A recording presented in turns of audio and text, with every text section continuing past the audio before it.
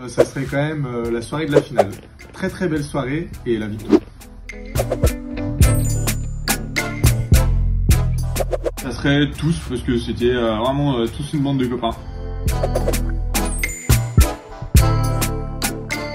Je pense que ce serait le fraisier, que c'est celui qui nous a offert la place en finale et le macaron d'or. Sa bonne humeur euh, pendant tout le, tout le tournage, euh, il était super sympa. Euh, bah, ça serait ses conseils, même s'il a toujours essayé de nous piquer un petit peu. Ah, voilà, puisqu'il sentait qu'il y avait du répondant, mais on est resté fort. Ça va être trois mots, complicité, souvenir et victoire. Le sentiment qu'on a ressenti euh, au moment de la finale pour la victoire, euh, il y en a beaucoup qui se sont mêlés, mais c'était fierté et soulagement.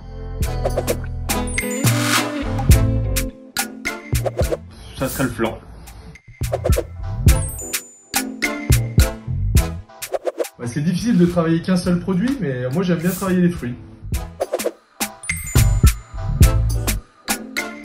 Il y a quelques années, j'ai j'ai raté un caramel exotique.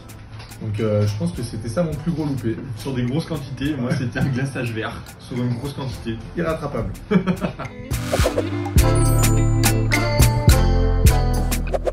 La Euh, retraite. la retraite.